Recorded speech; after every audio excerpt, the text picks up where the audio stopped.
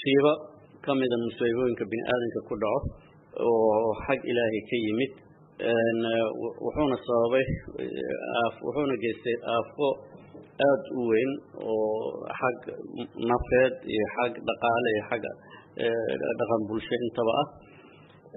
Sidaan la soconno dhimashada hadda adduunkoo idil markii la yidhaahdo waxay ku dhowdahay maantada waxay ahayd maanta duhurka waxay ahayd waxay kor u dhaaftay boqol iyo labaatan iyo lix kun ayay kor u dhaaftay.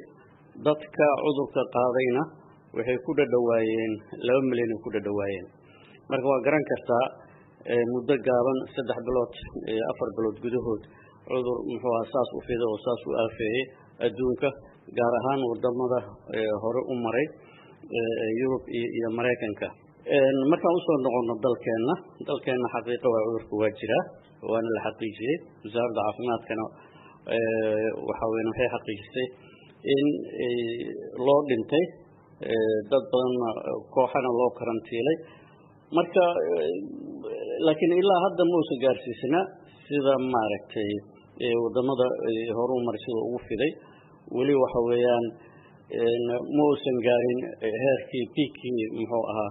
Laakiin ilaahay waxaan ka rajaynaynaa inuu naga najeeyo maadaama muxuu ahaa dhib badan iyo aafo badan uu u geysanahayo bulshada. Haye doctor yaasiin horta covid nineteen waa cudur jira waayo. Coronavirusa keena. Coronaviruska waa cudur soo jiri jiray waayo soo jireen ahay. Waagi hore dadka hergeb ku keeni jiray.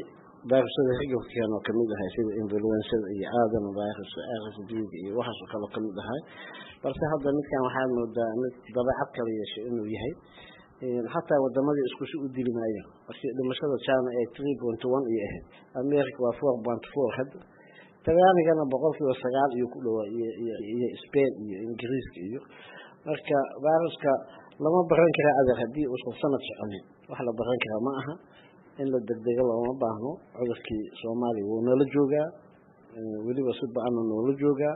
Tirooyinka ilaa iyo baaritaanka markii la bilaabay waxaa moodaa inuu iska laba jibaarmayo marka waxaa loo baahan yahay feejignaan dhab ahaa loo baahan yahay cudurka wuu nala joogaa wuu nala darsay communitiga wuu ku balaastay dhakhaatiirtii hadda si zaa'id ay u arkayaan. Runtii calaamadaha fiiraha ay ka arkayaan sida aan maqmaqlayo dad yar ma aha tabar ma jirto daaweyna ma jirto. Waxaa la rabaa sida keliyoo la yeeli karo in bahalkan la iska dhooro sida la isaga dhoorayo oo cadaan ah ha taabanin hoos iska gelina ha isislaamina qofkii qanayo isku arkaa gurigiisa iska joogo. Laakiin wax kale oo haatan oo tabara oo laga qaban karaa ma laha. Taa awgeed waxaa la rabaa dadkiina aniga ma qabo dadkiina lama xiri karo. Dowladda way dadaashay iyo bando iyo waa soo rogi hadda. Laba saac ilaa wixii ka xageeya laakiin maalno idinaan soomaaliya la xirayo dadka gaajo looma leyn karo. Cudurku wuu nala joogaa. Waxaan ilaahay ka rajaynaynaa inaan naga qabto inaan ala barino afkana aan xirino. Kulligiisan oo dhanna doctoresa lul dhinacaaga si kooban haddii aada uga waranto xanuunka coronavirus iyo sida uu dunida halista ugu hayo. Bismillah asalaamu calaykum raxmatullah marka hore waxaan kaaga mahad celinayaa maadaama v o a naga furtay kulankan. Aadaan idinkaga mahad celinaya marka labaad covid nineteen saan ognahay adduunka wuxuu ku bilowday december. Ilaa iyo haddana mar walba wadan ayuu soo gaarayay ilaa uu noqday heer oo adduunka dhan hadda wada gaaray qaarad ka maqan aysan jirin qaaradihii adduunka o dhan oo wada gaaray iyo wadamadiiba. Waana cudur aada halistiisa u leh saxooga u faafaya gaar ahaan dhimashadiisa ay badan tahay. Marka oo sisteemyadii caafimaadka oo jiray adduunka kulli ka wada qaylisiiye ama mid dhisan ha ahaado ama mid awalba iska liita ha ahaado doctor guuleed cabsi intee la-eg ayaa laga qabaa in cudurkani uu si weyn ugu baaho soomaaliya adigoo ka cabir qaadanaya kiisaska ilaa iminka la helay iyo kuwa qarsoon oo ay dhici karto inay dib ka soo isbaxaan waxa weeyaan cabsi weynaa jirto in in cudurka ku baaho mujtamaca soomaalida gudahooda maxaa yeele waxaa fududaynahayo qaab dhismeedkeenna iyo muxuu ahaa sida sida bulshada soomaalida ay tahay marka waxyaalaha fududaynahayo inuu cudurka si ba'an u baaho haddii uu bulshada aada u sii dhexgalo waxaa ka mid ah dhaqankeenna oo ah isku tag in la isku tago oo dadka wada joogaan oo qofka xanuunsan la soo booqdo oo la gargaaro isbitaalka dhowr qof ay wada wadaan marka waxaas dhaqankaas aan leenahay kuna salaysan runtii waxa loo yaqaano insurancega dadka muxuu ahaa dadkaas qalaada u yaqaanaan inay insurance leeyihiin hadduu jirada kubargarayna hadduu dhaqaalihiisa muxuu hoos u dhaco hadduu shaqo la'aan dhaco ma jirto halka kan. Halkan marka waxa insurance waxa weeyaan waa dadkaadi. Marka taas waxay keenaysaa isdhexgalkii laga digahayay xanuunka uu ku fidahay haddii laisu dhawaado laisdhexgalo la wada joogo in taas aysan suurto gelin in badan aysan dadkana u dhadhognuglaan maadaama xanuunka uu cusub yahay ma laha muxuu ahaa baaritaanadii sidii loo rabay ama qof kasta inuu heli karo baaritaankii taasna waxay sabaysaa marka gaabis inuu yimaado in qofkii markuu tago meeshii lagu baarahayo haddii uu ka jirto muxuu ahaa ciriiri uu ka jiro dad badan iskugu tagaan ama muxuu helitaankii baaritaankii laabkii aan la heli dhaqso loo helin inuu qofkii ka caajiso inuu yidhaahdo gurigayga iska geysanaya muxuu ahaa. Midda afaraad oo sababi karto inuu xoog u fido waxa weeyaan dadkeena soomaalida ma jeclo waxa la yidhaahdo karantiin. In meel lagu hayo oo meel uu fadhiyo shan iyo toban beri waxa weeyaan aad aaday dhib ugu tahay. Marka isagoo ka cararahayo dad badan waxaan aragnay aan ka shakinay markaan u dirno niraahno tag muxuu ahaa goobta muxuu ahaa la isku baaro dhahayo ma tegayno gurigeena geysanayna maxaa yeele inteena la socoto o dhan waana la karantiila haddii qofkii laga helo. Cabsida la qabo inuu aada u fido waxa weeyaan taas waay waana waxa aan ka cabsanayn haddaan nahay takhaatiir doctor yaasiin welwelka ku aadan in cudurkani soomaaliya ku baaho intay la eg tahay horta cudurka wuu jiraa mujtamacan uu dhex yaalla doctor guuleed inta uu tiriyo sababana waxaa weeye wax xoojinaya waay inuu cudurkani uu sii faafo taasoo ay tahay waa run karantiilka soomaalida ma jecla. Karantiilka experience u leeyihiin waagii daacuunka dhacay. Waxay arkayeen qof karantiilka la geeyo dhimanaya laakiin kan isla midkii ma aha.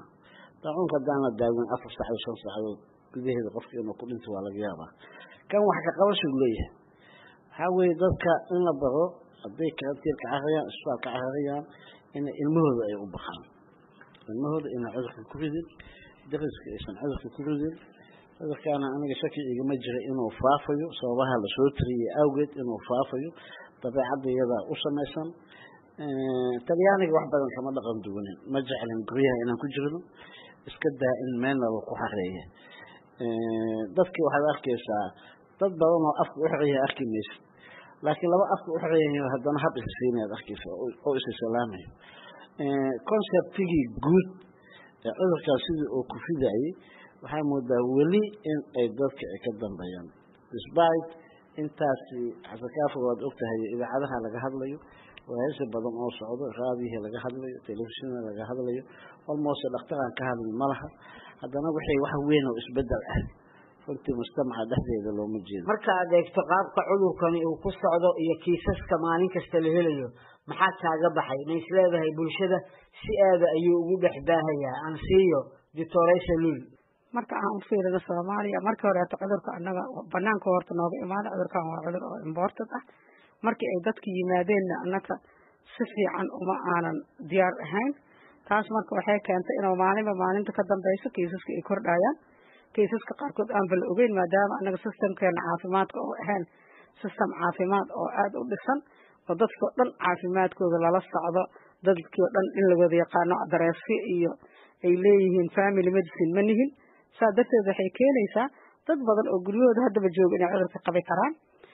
Waxaanan aada hore loogu sii sameynin contact raceka ama in qofkii qabay la dabagalo si dadka u yaraadaan taas waxay keeni lahayd haddii aan marka horeeto aada u diyaar garowno oo arrintaas aan aada u fuli lahayn inaan diyaar cudurka xakameyn lahayn laakiin hadda waxaan u malaysaa inuu xataa hadda jiro dad aan banaankana aadin magaalada xamar aan ka bixin oo positivena noqday. Taas marka marka uu yimaado waxaa dhici karta inuu cudurka bulshada dhexdeeda inuu si tartiiba ugu faafayo cudurkaas sida la ogyahay waa cudur faafa hal qof oo qabo wuxuu ku daaran karaa ilaa iyo saddex qof marka haddaa hal kays aragtid saddexaa heli kartaa. Saddex markaa aragtid sagaal ay noqonayaan. Sagaal markaa heshid sagaal kalaa ku darsami karto. Qof kasta saddexa u gudbinaa marka sidaasay u socnaan labaatan iyo toddoba ay noqonayaan. Hadda waxaa ujeedin si hal laba saddex aan u ahayn hal maraan soddon iyo laba kays la helay. Marka taas waxay kuu sheegaysaa inuu cudurka faafayo gaar ahaan magaalooyinka waaweyn oo cudurkan wuxuu halis ku noqonaa dadka isla wada degan iyo oo corodinaska ama marka bulshada ay hal meel wada joogto cudurka wax sida ku faafa waay. Waa tahay. Qaar ka mida dadka ay ka soo muuqdeen calaamadaha covid sagaal iyo toban waxay ku dhiiradeen inay iskarantiilaan oo ay bulshada la wadaagaan xanuunka. Halka ay jiraan kuwo badan oo isqarinaya oo aan ku dhiiran inay soo bandhigaan. Arrintaas marka soo bandhigin la'aanta dadka isqarinaya maxay dhibaataa u keeni kartaa bulshada waa tan ugu daran qofka intay ka soo muuqdaan calaamadihii baaritaanna aanan tegin naftiisana aan karantiin. Maxaa yeelay lama yaqaano waxa uu sido qofkaas. Inkastoo xanuuno badan oo ku dhaco saableyda ama neef mareenka isku eg yihiin calaamadaha oo aan la kala saari karin oo sida lagu kala saari karo keliya ee tahay qaabka u soo muuqanayo xanuunka iyo baaritaanka. Muxuaha coronaviruska muxuu ahaa baaritaankiis la haddana waxaa loo baahan yahay haddii qofka shakiyo inuu dhakhtarka u tago dhakhtarka waanadiisana uu qaato. Haddii kale inuusan gurigiisaba usan ka soo bixin inta muxuu ahaa hadduusan baarida uusan tegin runtii dhibaato weynaa lagala kulmahaya. Marka waxaa loo baahan yahay inuusan qofka isqarin dadka isqarinhayo bulshada waxay ku yihiin dhibaato weynay ku yihiin. Doctor yaasiin dadka qaba calaamadaha xanuunkan ee isqarinaya dhibaato caynkee ah ayay soo kordhin karaan horta waa dembi xag alla laga galo iyo xag biniaadamka laga galaba adoo cudur isku og inaad bulshada aad dhex timaado midda labaad dadkii miyaysan arkeynin dadka oo ku dhacay oo ka kaxay oo haatan wax dhibaataa maanta aan haynin. Dadka inay u fahmaan waaye coronavirus waa hergabkaba waa sheegtaan. Influensada markay ku dhacdeen hergab ahay dhaafi dhahaan ma sidoo kale dhahaan oo gurigooda ay joogaan. Adag waxaa weeye dadka in ay rabbina ka baqaan diintoodana ay sharfaan oo cizaan ummadooda ay u naxariistaan dadkaasi in waxaa weeye aysan soo bixin dadkaasi waxaa waaye inay ummadda dhaha wareele waa soo ma soo bixi karee lacagna ma haysta maalin goosadkii ma aadi kariye halay i taageero inay dhahaan waayo maahane in bulshada dhexdooda ay soo dhex galaan ma aha. Waxaas waxaa weeye waa dembi waaye. Ciqaab diin ana waa ka imaan kartaa. Mid xukun dawli ana waa ka imaan karaa. Marka dadkaasi waa in degniin adag la siiyo. Qof qufacayo oo dadka dhex joogo inta la arko laga helo cudurka laga helo runtii waxay tahay in la ciqaabo oo kaas istaahila doctor saluul dadka cudurka qaba ee isqarinaya sidee loogu qancin karaa inay goobaha la isku baara tagaan? Horta cudurkan qofka waxay ku xiran tahay mar walba aqoontiisa iyo inta ay gaarsiisan tahay. Iyo dadka wacyigelinta la siiyey. Wacyigelinta ugu weyn waxay ahayd qofka haddoo calaamadahaas isku arko inuu goobaha caafimaad ka tago haddii cudurkii waa qabtaa la yidhaha ama baaritaan oo helay iyo haddiiba shaki ay jirtaba inuu iskarantiilo waa muhiim. Oo asaga oo keligiis afoor afar iyo toban maalmood oo dadka cudurka ugu gudbi lahay oo yareeya marka taas wuxuu yareynaa khatarta cudurka iyo gudbiski qofka laakiin aanan ogeyn ama aananba rabin inuu inuu asagoo cudurka qaba inuu socdo rabo waa qof cudurka faafinaayo dadka ugu badan ku faafinaayana waxaan dhihi karnaa waaba dadka oo maxaayata ugu dhow asaga. Ilaa qofka cudurka qabo dadka ugu dhow ah cudurka ku dhacaa marka maadaama cudurkan uu yahay cudur la iska qaadayo haddii uu qariyo dadka uu kuridayo waa dadka dadka ugu jeclaay. Laakiin aqoon darra u yeelaysa aan is leeyahay marka dadku inay fahmaan haddii ay cudurka isku arkaan inay keligood qol la geeyo in la maxay ahayd wixii u baahnayna loo sameeyo dadkii kalena uu iska ilaaliyo. Waa arrin aada u fiican cudurkuna nagu yaraynayso.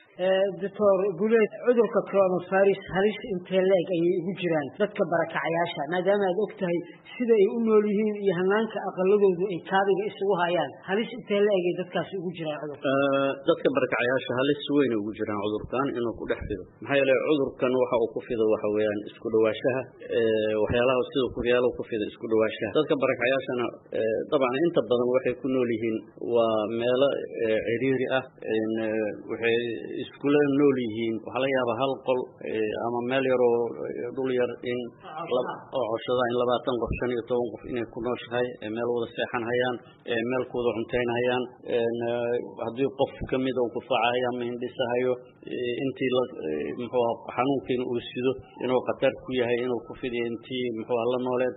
Marka waxa weeyaan si kasta oo cudurka ku fidi karo waa laga dhexhelahayaa barakacayaasha marka taas macnaheedu maxay tahay? Waxa weeyaan waa meelaha ugu khatarsan meelaha dadka ku ururaan meelaha cudurkan ku fido. Waxaana ka mid a meelaha barakacayaasha ka mid a sidaa darteed waxaa loo baahan yahay in muxuu ahaa taxadar badan laga sameeyo wax kastoo laga qaban karo arrimaha barakacayaasha sidii looga fududeyn lahaa in cudurkan ku dhex fido haddoo ku dhex fidana barakaca meel kuu fadhiya ma ahan barakacii waxa waa soo baxa magaaladu soo gelahaya waa shaqu soo raadsanhaya adeegu soo raadsanhaya ummadii kaluu dhex gelahaya. Marka barakaca dhibka maxaa wada noolaashaha ciriiriga ay ku nool yihiin wuxuu gaarahayaa dhibkii ka yimaado bulshada dhan ayuu gaarahayaa si sahlan ku gaarahayaa waa mahadsantahay doctor yaasiin isla su'aashan barakacayaasha waa u nugul yihiin cudurka sidee ugu dhex faafi karaa maadaama ay kaabiga isku hayaan barakacayaasha horta cudur walbay u nugul yihiin maxaa yeelay waa dad isdhex jiifo isdhex joog waxyaabaha u baahan in laga tastona waaye waxna waa laga qaban karaa haddaba meelay ku jiraan dad un baa raashin u geeya dad un baa wax u geeya laakiin dadka iyaga ah in ay helaan waayo amkaaniyaad ay uga maarmaan shaqada ay banaanka u soo doonanayaan. Dadka meeshooda lagu hayo waayo hal qof oo dhex galaa ku filan. Inta waxaa suurooda hal qof inay dadka distance iyo wax kale leeyihiin ashyaa laakiin hal qof oo barakayaasha dhex galaa waxaa waaye waa arrinanu dee jadeecadan aragnayo bususkaan aragnayo skabskaan aragnayo. Waxaasi dadkaasi markay tbda waxaasi dadkaasi markii ay ku dhacaan sidii maxaa la yidhaahaa buul oo oo dhib qabsadoo kale noqonaya marka waxaa loo baahan yahay hadda in laga fikro wixii barakacayaasha laga yeelin lahay dad yarna ma ahan isleeyahan waa tobaneeyo kunoo qofood wahay dadkaas waxay u baahan yihiin sidii loo celin karo raashinkooda iyo cuntadooda loo dhamaystiri karo. Haatan waaye markii emergencygan oo kala jiro waaye markii laga faa'iidaysan lahay oo dadkaasi deegaan dhaba sidii loo geen lahay loogu heli lahay. Laakiin waa khatar meesheeda taagan in cudurkana aada ugu faafo ayagana ku baaba'aan ummadda inta kalena ay dhex keenaan. Halis intee leeg ayay doctoresa lul dadka barakacayaasha ahi xanuunka covid nineteen ugu jiraan? Haddaan horta annaga soomaali nahay annagoo dhan halisa ugu jirnaa maadaama ana dad masaakiin ah oo dhaqaalahooda aada u hooseeyo guryaha aan deganahay ay iska yihiin guryo oo aan sidii la rabay u samaysnayn. Haddana kuwa barakacayaasha ayaga waxaan umaleynaa waa ugu sii daran yihiin maadaama ay dadka dhan hal meel ku wada nool yihiin. Waxaa laga yaabaa hal buush oo coosho marooyin kor laga saa saaray inay ku nool yihiin sideed qof toddoba qof. Qoyska soomaalida waxaa la dhahaa celcelis ilaa iyo shan ilaa iyo lix qof waay. Haddii lix ama toddoba qof uu yahay oo hal meel oo yariisan ay ku nool yihiin hal qof haddoo ku dhaco dadka dhan waa wada gaari karaa marka. Dadkeena halistaasay ugu jiraan. Gaar ahaan haddana cudurkan waxa ugu muhiimsan waa nadaafadda. Waxaan ognahay inay biyaha ku yar yihiin oo aysan biyo ku filan haysanin. Waxaan ognahay inay saabuun heli karin markasta ay gacnaha ku dhaqdaan marka taas ayadana waxay noqon doontaa caqabad kaleeto oo cudurka inuu faafo. Keenaysa dee uu ku dhaco inay dad badan ay cudurka qaba in la arko ama u dhintaan. Dhegaystayaal haddii aan idin xasuusiyo intiinan dhowaan nagu soo biirtay weli waxaynu ku dhex jirnaa barnaamijka faaqidaada toddobaadka oo aanu maanta uga hadlayno xanuunka covid sagaal iyo toban iyo welwelka laga qabo inuu ku baaho gudaha soomaaliya. Waxaana barnaamijka marti ku ah oo ka qayb qaadanaya doctor axmed yuusuf guuleed oo ku takhasusay cudurrada neef mareenka. Doctor yaasiin axmed nuur oo ah madaxa kuliyadda caafimaadka ee jaamacadda soomaaliya iyo hormuudka kuliyadda caafimaadka ee jaamacadda jasiira doctoresa luul maxamuud maxamed. Aan u soo laabto barnaamijka. Doctor guuleed haddii aan ku weydiiyo inta aan ka warqabno ilaa iminka wacyigelinta ay bixinayaan bahda caafimaadku waxay ku kooban tahay gacmaha ha la dhaqdo iyo guryaha ha la joogo.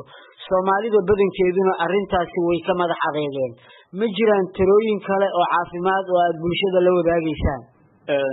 Sida cudurka uu ku fido waayo macnaha gacmaha taabashada iyo in qofkii xanuun isku arko oo guriga uu joogo. Qofkaan xanuun isku arkin oo guriga joogo si uusan oola kulmin qof xanuun qabo guri joogitaanka maaha qofka calaamado isku arko. Keliya maahan. Waxa weyaan qofkaan calaamado isku arkin xataa hadday suurtagal u tahay inuu guriga joogo maxaa yeelay si uusan oola kulmin qof xanuunkii qabo. Marka waxa kaloo la samayn kara ma jirto. Waxa kaloo la samayn kara waxa waa daaweyn. Daaweyntuna waxaa ka horreeya ka hortag. Ka hortagiina waxa in laisu sheego sidii cudurka uu ku fidahaya tallaalaa jiro jiri karo tallaalna weli lama hayo. Macnaha in qofka laga sii tallaalo midda xili kartayna taas waay tallaalna ma jira hadda ilaa haya tallaal oo loo isticmaalo waa la rajaynayaa mararka qaarkeed waxaa la leeyahay muxuu ahaa labiyo toban bilood ilaa sideed toban bilood diyaar ku noqonaa marar waxaa la leeyahay in ka gaabanaa laga yaabaa mar laakiin ilaa hadda expertska ku howlan inay soo saaraan tallaalka ilaa ha waxa natiija marka taana waxa weeyaan midda muxuu aha kaalmeyn laheyd mar walba laga maarmayo wacgelinta laakiin waxa kaalmeyn lahaa oo dadka la dhihi lahaa waxa wey inay istallaalaan tallaalkiin lama hayo. Marka sidaas weyaan waa mahadsan tahay? Doctor yaasiin isla su'aashaad dhakhaatiirtaa tihiin wacyigelinta ilaa hadda ma dhaafsiisana. Gacmaha hala dhaqdo iyo guryaha hala joogo. Horta waxaa la isku waafaqsan yahay adduunka isku waafaqsan yahay waa taas wa soomaali saan uma samaysma iyo maaha. Soomaali haddii qabaan inay isdilaan ha iska socdaan oo isku yimaadaan balse aniga mid kalena waa is leeyahay habka noocaasa soomaaliya wax mid anfacaya ma yahay mise ma aha. Cudurkan dhowrsiibuu u fidaa. Haddii aad ka soo qaado aad fiiriso dhimashada ilmaha iyo dadka da-da yahay waa boqolkiiba hal boqolkiiba one forty five oo kale waayo talaal waa degdegi doonaan. Shirkado badana degdegi doono talaal keeni doono. Aniga ma qabo talaalkaasi in la isticmaalo talaal kama yaraanayo sanad iyo bar laba sano. Markii la dhaqsado oo weliba la helo beshan zero bukaanka oo ka bilowday. La ogaado jiinka ugu fiican oo maxaa la yiraha conservativeka ah oo talaalka laga sameeyo. Waan kugu soo laaban doonaa doctor yaasiin ansiyo doctoresa lul cudur kasta si unba oo ku faafaa si loo joojiyana wax unbaa lagu joojiyaa cudurkan waxaan ognahay inuu ku faafo qofka dhacaanka ka imaanaya sankiisa afkiisa aa ugu badan kadibna qofka inuu qofka kale u dhowaado ay ku faafi karaa. Saasaa loo yidhi horta guriga hala joogo. Guriga hala joogo keliya baana hala kala fogaadaa. Muhiim ah. Tan labaad oo ah in gacnaha la dhaqdana gacnuhu waxay ka mid yihiin waxa cudurka aadka u faafinaya qofka cudurka gacantiisa ama ku hindhisay ama ku qufacay kadib qof kaloo salaamay waa u gudbaa. Marka taasaa horta gacmo dhaqashadana xooga loo saaray. Xataa dhakhaatiirta waxaan ognahay xataa dhakhaatiirta inay cudurkan gudbiso dhakhtarka haddoosa gacnaha dhaqan obetionkan oo fiiriyo bukaan bukaanka kale inuu u gudbi karo. Marka markasta gacno dhaqashada meel kasta oo la joogay ay muhiim u tahay. Cudurro badanaana lagu joojiyaa cudurkaanana waa ka mid laakiin marka aan ka hadlayno soomaalida oo ah dad masaakiina dhaqaalahooda oo maxay ahayd sheegtay oo ah dad qutulyoonkooda raadsado. Annaga hadda qutulyonka yaa raadsan ma dhehayno qutulyoonkooda ha raadsadaano laakiin sida ugu fiican una macquulsan oo ay uga hortegi karaan ha sameeyaano haddii ay xira ay maaska xiro karaan markay shaqadooda qabsanayaan haddii ay gacnaha dhaqan karaan mar kasta haddii ay maxay kala fogaan karaan intaasoo dhan waxay u tahay faa'iido cudurka marka cudurka isku arkaana inaysan dadka dhexgelin iyo dadka ka ay ka maxay ka fogaadaan ayadana waa faa'iido kale. Dadka hadda banaanyada ku nool soomaaliya oo kale waxay iska qabtaa meelo badan oo banaan ah. Waxaa laga yaabaa cudurkan dadka baadiyaha jooga inuusan dhib badan ku haynin sababto a dad badan oo meel isla degan maa nin walba meel gooniyo degan yahay iyo hawadoodaas furan inay ku fakadaan waxaad tihiin howlwadeenadii indhaha u ahaa bulshada. Marka laga hadlayo arrimaha caafimaadka haddii aad eegtaan dadaalada iminka soconaya ee ku aadan la tacaalidda cudurka coronavirus ma yihiin kuwii loo baahnaa mise gaabis ayaa idiin muuqda? Aan ku horeeyo doctor guuleed dadaallo waa socdaan. Meelo badan ay ka socdaan. Wasaaraddaa wado ururka takhaatiirta soomaaliya wado. Shaksiyaad isxilqaamaa wado waa waa bilow fiican waaye. Me meeshii la rabay ma gaarin laakiin waa lagu socdaa. Wax walbana bilow way leeyihiin. Wax walba cusubna waxa weeyaan waxay leeyihiin challengesku leeyahay.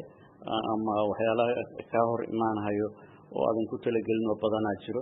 Waa iska jiraan challenge waa iska imaanhayaa waxyaalahaan ka sheekeynaynay oo dhaqankii iyo dhaqaalo xumadii iyo iyo muxuu ahaa dadkiio muxuu ahaa aan xoolo haysanin iyo waxaasoo dhan waxa weeyaan waa challenge kaa hor imaanahayo. Diyaargaroow aan hore loogu diyaargaroobin in muxuu ahaa tan oo kale adduunka ay soo marayso iyadoo ruuxeeda waa waxyaalaha maaragtay ku hakinhayo marka dadaal waa jiraa bilow fiicanna waa jiraa laakiin meeshii la rabay lama dhihi karo waa la gaar laakiin waa lagu socdaa insha allahu tacaala. Doctor yaasiin dadaallo badanaa socdaa wasaaradda caafimaadka ururada dhakhaatiirta dad kaleto fara badan ma yihiin dadaaladii loo baahnaa mise waa dadaallo gaabis uu ku jiro oo dhutinayo horta nin walba tabartiisa meel dhigta. Waa ognahna cudurkaas oo ku bilowday. China waxuu ku dhigaan ognahna america waxuu ku dhigayo dadkii oxygen siinla aan u jeednaa wasaaradda caafimaadka runtii iyo ururka dhakhaatiirta way dadaaleen. Traininka waa socdaa ilaa lixdan dhakhtar u socdaa umaleyna inkastoo tartiib tartiib gruub gruub loogu sameynayo wasaaradda caafimaadka way oroday testigi way keentay isbitaal warkii way geysay. Laakiin waxaysan haynin kuma siin karto. Haddii cunto haynin cunto keen ma ma dhihi kartid wasaaradna uma taalo arrintan waxaa waaye arrin mujtamaca idin oo soomaaliyeed. Waxaa weeye inay mujtamaca ay bartaan waaye. Tabarta dalkeeda uu leeyahay dowladeeda ay leedahay wasaaradda caafimaadka ay leedahay. Dhakhaatiirtii way joogaan oo halkaas u taagan yihiin. Wixii waana ah way siinayaan wixii daawaha ay siin karaana way siinayaan.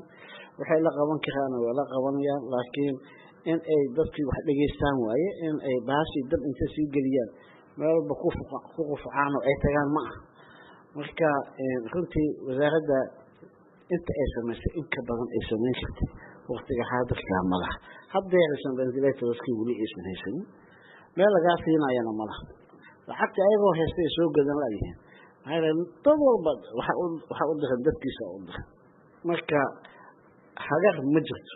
Tabar la jirto maahane hagar ma jirto. Balse waxaa keliya ku tashan karna mujtamac isku yimid oo cudurka sida la iskaga dhooro iyo waanada qaato waa. Doctor saluul adigoo soo koobaya. Dadaalada socda ee la doonayo in lagu xakameeyo cudurka covid sagaal iyo toban ma yihiin kuwo sidii loo baahnaa u socda. Horta soomaaliya marka laga hadlayo dhanka caafimaadka caafimaadkeeda dhanaa gaabis ku jiro. Dadaalkeena aada u hooseeya waxyaabaha aan wax ka qabano oo ugu badan waxaa la yihahdaa waa oo barnaamijyada caafimaadka oo wasaaraddeena xooga badan ay ku samaysa waa caafimaadka hooyada iyo dhalaanka waxaan ognahay inaan adduunka ugu dhimasho badan nahay ugu hooseyno marka covid nineteen oo dadkii waxaystay horta ka cadaadiyey annaga wax badan ma ka qaban karno. Midda labaadna waxaa waaye dadaalkeenana aada u hooseeya. Dadaalkeena ha noqdo inaan isku xirannahay shaqada aan qabanaynana ee hal meel u socota. Waa nugu yar tahay soomaalida waxaa lagu yaqaanaa markay wax dhacaan inuu qof walba dhinaciisa u ordo. Ayada nasirkeeda taas aan coordination la'aan ama isku xir la'aan dhibaatada ugu badan oo hadda haysato waayo maxay ahato dadaalada socdo tan labaad oo aan aada u dhigi karo waxaa ah qalabki iyo isbitaaladii qalabaysnay soomaaliya ma haysato. Cudurkan waxaa la ogyahay qofka dhimanayo waxa uu u dhimanayo ugu badan waa inuu oxygen helo waa inuu waxa la yidhahdo intubation iyo u helo maxay ahato ventilator. Marka intaba soomaaliya inta taala labaatan xaba ma dhama waana magaalo madaxda bas ayaga nafsirkoodana hadda shaqadii loogu talagalay ba qabanayaan oo meelaha ay yaaliin cudurkaba laguma daaweeyey marka taas naftirkeeda waxay ku tusay sida ay gaabis nooga tahay. Gaabiska kalon qabna waxaa waaye baaritaanka. Ilaa iyo hadda dadka aan baarnay kun qof xataa ma dhamo. Marka taas naftirkeeda waa arrin kaloo gaabis ah. Boqol laba boqol maalin haddii la xisaabo wax la baaro waa dad aada u yar waay oo kooban. Oo magaalo madaxda iyo meel goboladii lagama warqabo meelo badan lagama warqabo. Aadan gaabis u nahay. Ilaahay waxaan ka baryaynaa inuu isaga naga soo gaaro doctor guuleed waxaa jira hadalhayn ku aadan in cudurkani aanu ku nagaan karin waddamada cimiladoodu kulushahay sida soomaaliya oo kale. Arrintaas maxaa ka jira? Horta meelo badan waa looga hadlay dad badan waa soo qaadan xataa culimo expert ku ah xanuunka kan waa soo qaadeen